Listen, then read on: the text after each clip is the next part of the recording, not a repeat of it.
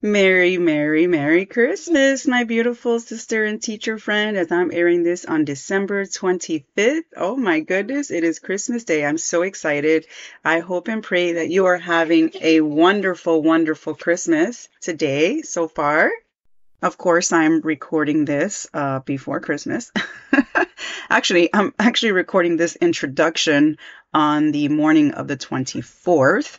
But this recording that you're going to hear is from two Christmases ago. And I needed to share this message because it was really powerful. I think you're going to absolutely be moved by it. It really has to do with having you think of what's truly important. What is truly important in your life. And as you hear the story of Mary and Jesus and his birth, there's a perspective that I really want you to listen to that maybe you have not really thought of before, kind of a different perspective. Okay. So I hope and pray that this episode that this reflection will bless you. And my sister, I wanted to also remind you, in case you didn't know, or if you're new around here, by the way, if you're new, welcome. So happy to have you.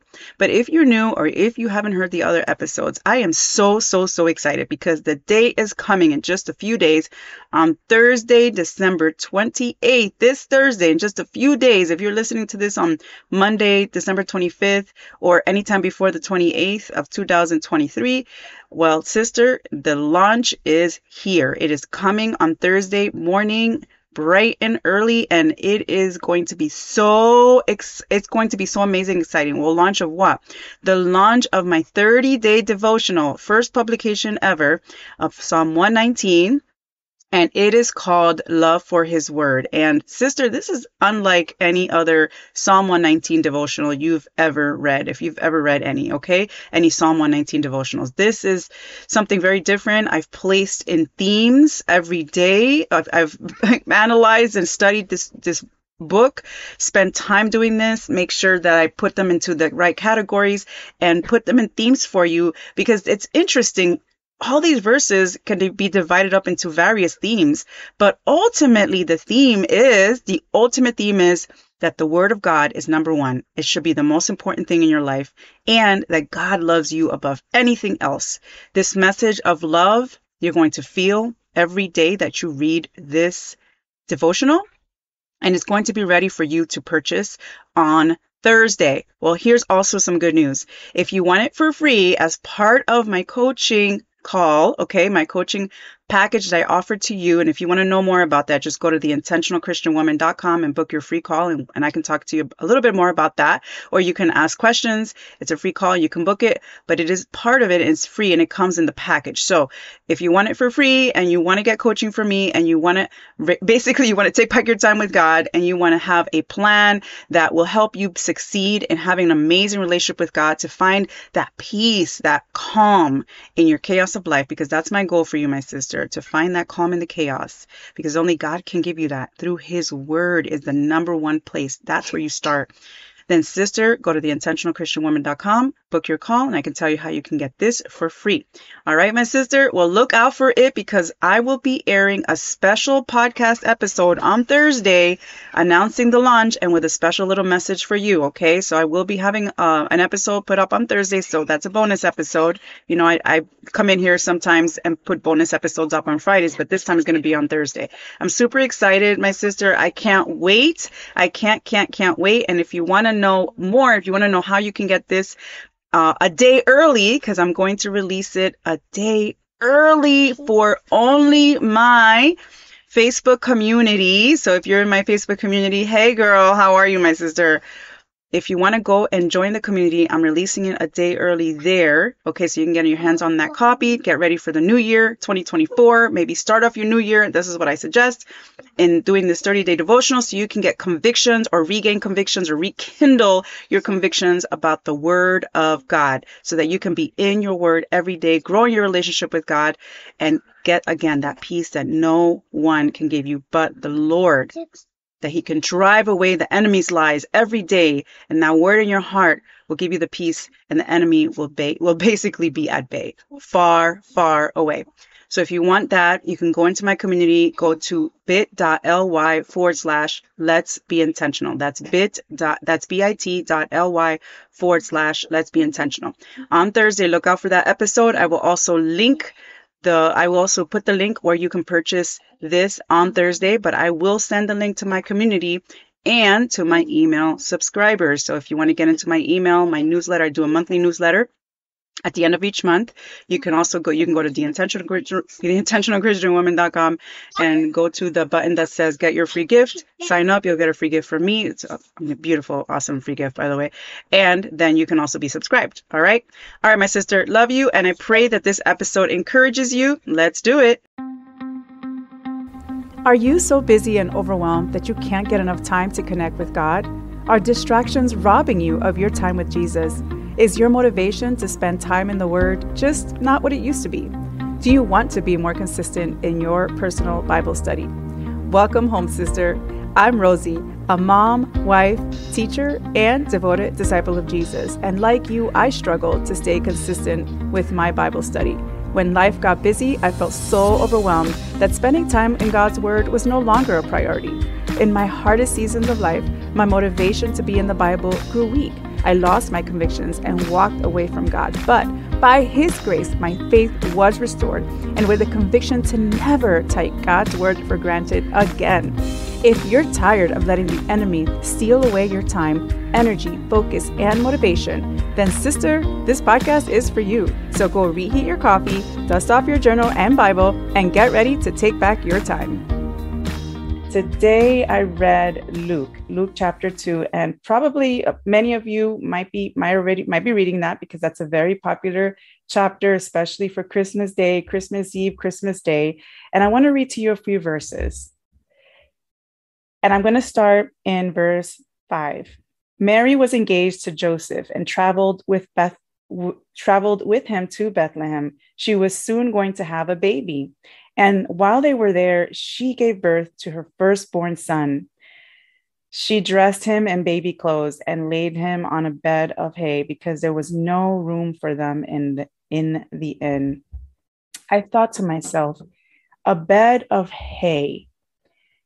She wrapped him up in baby clothes, which is large garments of linen, which is what they would use back then, and kind of like what we use now in a way, sort of, but we put on these kinds of clothes on our babies. Uh, I have three, so I know. But then we swaddled them with like uh, swaddling is when you take a blanket and you just you know cover them up completely and get them tight, get their get their hands in there so that it doesn't come on. They feel snugly and it feels like the womb of of the of the mom. So it makes them feel very comfortable, and so that's why you often see babies. If you're not a mom yet and you're wondering, um, you know, all snuggled up, it, it helps them to feel secure and calms them down. Well, I was thinking about that. That that's something we do, right? But do we, if you're a mom, have you laid your baby in hay, like because you had nowhere else to lay your baby? Let's think about that for a moment. I was thinking, you know, we you, we we sometimes want so much. We want material things. Even if you think of Christmas as a material holiday, that is not what God meant. This is not what Christmas is about. When I think about Christmas, and I can see one of the gifts here that has been open yet, I think about in the in the sense I think about it in the sense that the three kings went to, and this is what my husband and I were talking about. Um, the the going backtracking to the beginning, when the three kings came and bought gifts to Jesus, uh, they honored him with some expensive gifts. And when we think about giving, I think about, well, you know, you're sacrificing some money um, to give someone else you love something hopefully meaningful. Um, maybe it doesn't always have to be expensive. I know that we have so much pressure right now to give expensive things, especially to our kids when they're having all these commercials show up. And I just, I'm so against that. Like, I give my kids, I've turned that, and I admit I used to be more like, oh, yeah, I'm going to give them the PlayStation or whatever. No, this time it's like, what do you need?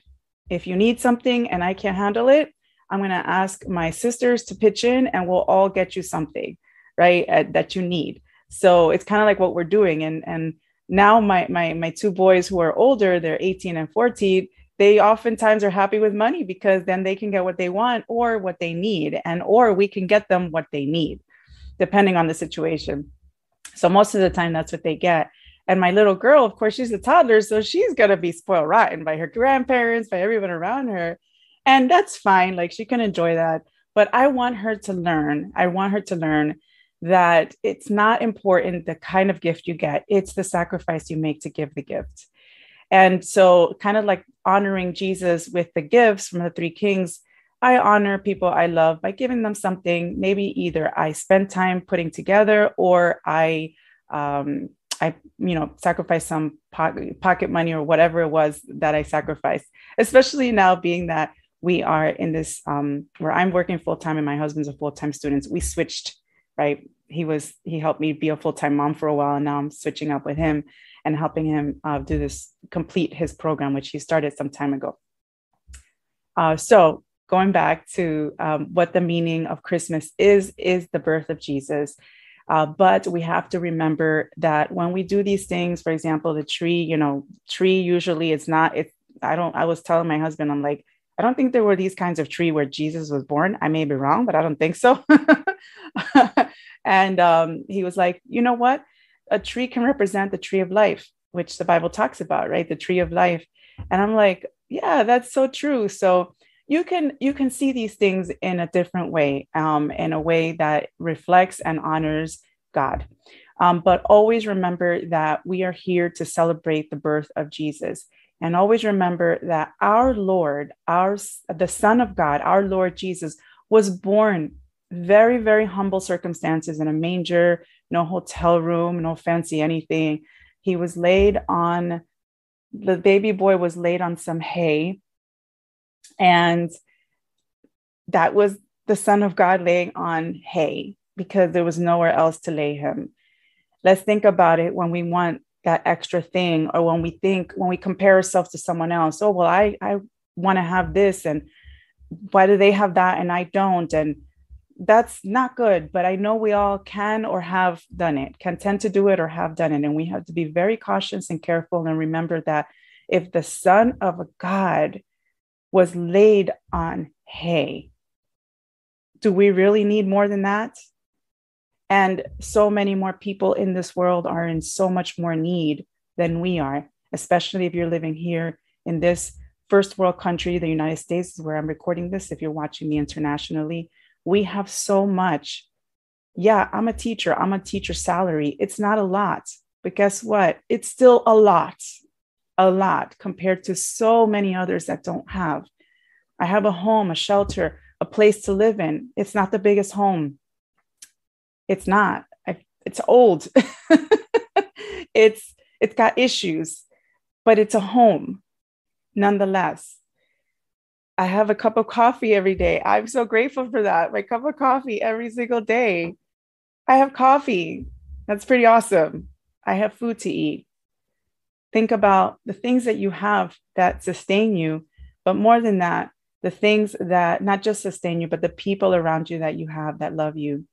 And not all of us may have the same amount of love and protection. And some of us may be grieving during this time. I spoke in a, my previous live video and said a prayer for, for those people that are in that grieving stage right now, grieving someone they love, because not everyone is feeling joyful today not everyone, even Christians, they're not feeling necessarily joyful today because they're missing the one they love. People are going through difficult times still. But I just think about when I take time to reflect in the mornings in the Word of God, when I think about Jesus, when I read through the Gospels, when I read through Paul's letters, right now I'm in First Corinthians, just finished Romans. I am just so grateful that we have Jesus' words right in front of us every day that can encourage us. And remember, when you want prosperity, Jesus didn't have prosperity. And there's nothing wrong with obviously wanting to succeed. Absolutely. You know, there's goals that we can have in our lives. Absolutely. We can do that. But make sure that it's always for God's glory. Whatever you decide to do this coming year or continue to do or grow in, make sure that it is for God's glory. Always put it in God's hands I just wanted to encourage you to remember Jesus, remember what's important. And as you open your gifts this morning, and maybe at this time of this recording, you already have, think about what Jesus got. Got Jesus got these three gifts that were precious, awesome. Of course, the baby Jesus didn't know what these gifts were. The, his parents knew, Mary and Joseph. But Jesus got these three gifts in honor, in honor to honor him, to honor the Son of God despite the lowly circumstances. So when you give your gifts today, think about how you're honoring Jesus with your sacrifice and make sure to remember to give thanks today for the birth of Jesus, because without the birth of Jesus, we wouldn't have his life, his example, and of course, his sacrifice, which at the end of the day is really why we can be saved. So that's it for this week. Uh, for the end of the week, today is again, time of this recording is Saturday, Christmas Day. Um, I pray that you enjoy the rest of this day with your family and friends. And again, if you're alone, I prayed for you. I'm, I'll keep praying for you to feel God's presence in your heart and your life. Remember that you are not alone. Jesus is with you. And if you're not a Christian, if you're not a believer, or you're curious about Jesus, reach out reach out because just ask God to show you the way. The Bible says that when you seek me with all your heart in Jeremiah 29, you will find me. You will find me when you seek me with all your heart. God is there. He's just waiting for you to reach out. So I want to end with a prayer. Dear Father in heaven, Lord God Almighty, creator of the heavens and earth, thank you so much for Jesus. Thank you so much for bringing him to this earth. Thank you for his birth. Thank you for his example. Thank you for Mary to, to say yes. Thank you for Mary. What an example of a woman to say, I am your servant when the angel told her that she would give birth to the Son of God. And what a willful, willful servant she was, despite what she thought people would think about her. She said yes. And Joseph married her. He said yes. He said yes to being Jesus' stepdad and raising him to be an amazing young man, to be an amazing man here on earth. But more than anything, thank you, Lord, for how you guided him through this earth and you taught him so many, you've, you've spoken through him and taught us so much. Lord, thank you so much. Again, be with all of those who are not feeling so cheery this morning. Help them to feel your presence. We love you so much. In Jesus' name I pray. Amen. Thank you for joining me, and I'll see you next time. Merry Christmas.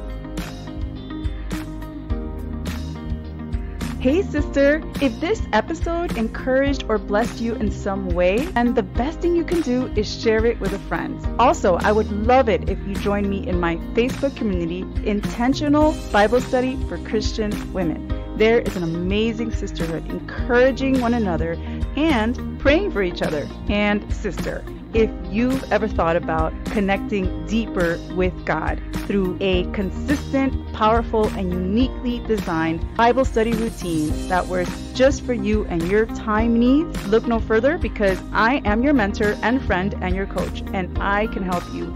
All you need to do is write me at coachwithrosie at gmail.com. You can connect with me there, or you can check out theintentionalchristianwoman.com for more details. Lastly, if you haven't done so yet, I would invite you to leave me a review on Apple Podcasts. This is the way that I know this show is blessing you. My sister, I love you. Know that I'm praying for you, and I will see you in the next one.